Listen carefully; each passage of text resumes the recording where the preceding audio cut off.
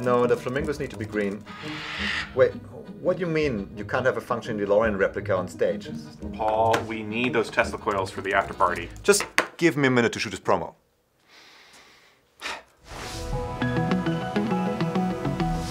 AmpConf is coming to Amsterdam on February 13 and 14 with two days chock full of talks by the AMP community and plenty of opportunities to meet like-minded developers and designers who care about building best-in-class user-first websites. Naturally, we'll come with tons of news and announcements related to AMP's developer experience.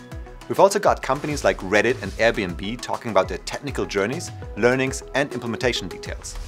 Plus, you'll learn more about how AMP is accelerating the WordPress ecosystem and influencing the web platform at large.